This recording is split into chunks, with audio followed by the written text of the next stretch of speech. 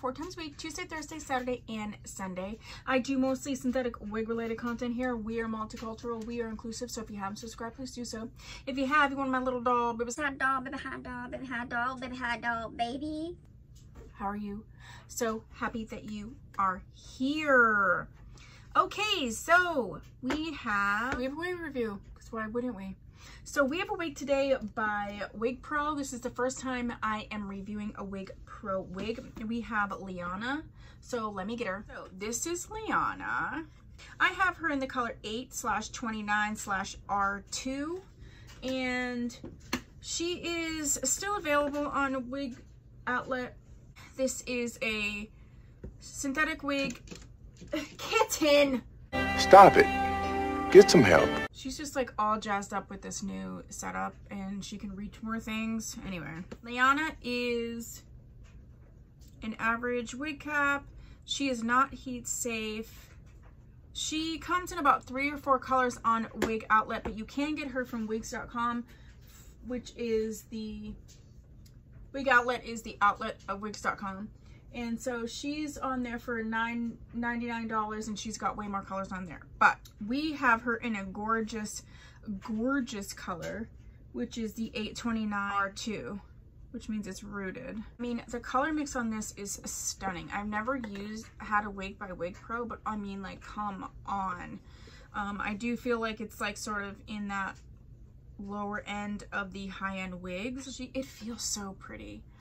Um, it's a full cap wig, okay, so there's no combs in the front. It's a wefted open cap.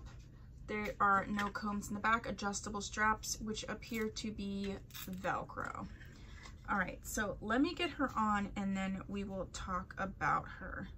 There's a little bit of permatease, but not much. She's a silkier texture, but there is a tiny bit of grip, so I think it would be uh, a good multicultural option. This cutie cutie right here is Anastasia from Rene of Paris, and there is a review up on her. Let me get this girl on, and then we will talk. How do I feel about being uh, a member of the Information Society? That's a difficult question because I didn't know we were in the Information Society.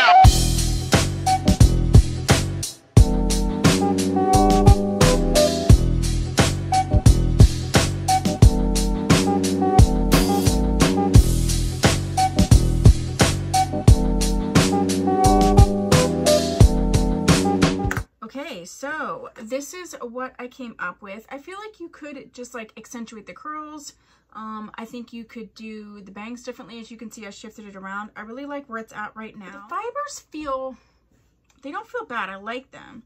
But there's almost like a dryness to them. And I think it looks pretty, like the luster is great, so that's good. And I think that dryness would actually make it so it wouldn't tangle as much. But it does feel, and you can kind of hear, um, but I really like the length. I like the cut. I'd say the wig cap is definitely average.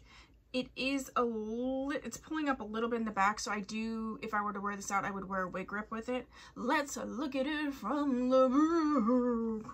And Cher is just not going anywhere. Oh yeah, I love this back. I love when it's like sort of stacked up nicely. The side, it looks so real from the side. I know there's only a few colors, but if you can find your color from Wig Outlet uh, for $55 and then get that 20 or 30% off, she's like more than worth this it. This color is stunning, stunning. It is just, it is a darker root, so it is a number two-ish root, but it's got these like chestnutty browns, these, uh, you know, caramel highlights. I think it's just so pretty. I think that this is a great wig. It's a great price. I'm happy that I tried out this company because I never have. So, okay, so that's what I have for Liana. If you have this wig, uh, let me know down below. If you have other wigs from Wig Pro, put that down below. If you have any suggestions, put that down below. If you have any comments, everything's down below. I will link my name brand wig playlist down below. And if you haven't subscribed, please do so. Thank you so much. I'll see you in my next video. Bye.